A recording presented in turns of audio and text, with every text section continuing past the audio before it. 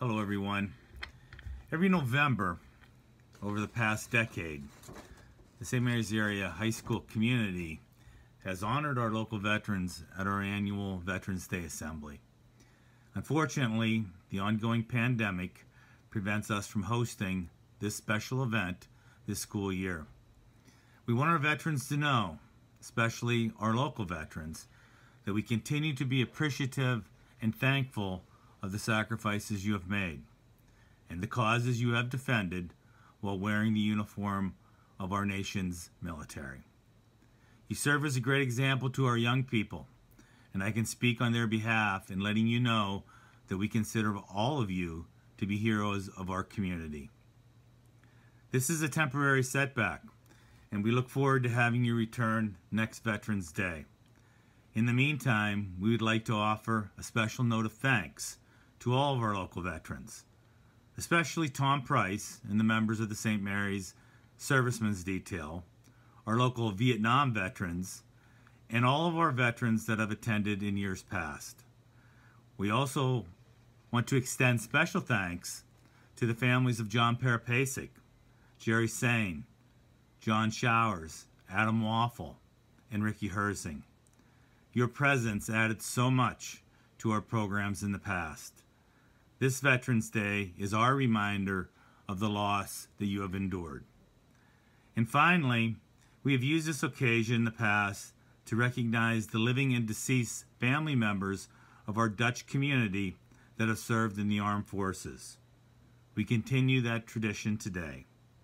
In your honor, the St. Marys Area Music Department, under the direction of Chris Gankowski and Adam Brooks, sends out to you the following musical tribute is our way of saying thank you to all of our military veterans and their families.